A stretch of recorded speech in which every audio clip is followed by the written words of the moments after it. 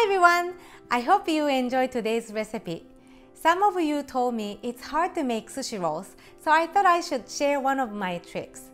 If you are not used to making sushi rolls or making it for the first time, measure the amount of sushi rice ahead of time for each roll. For half sheet of nori, you only need a half cup of rice. This way, you won't end up with too much rice and all of your rolls will be equal size. Alright guys, thank you for watching my video today. If you enjoy it, please give me thumbs up and share with your friends and subscribe to my channel. I'll see you guys soon. Bye!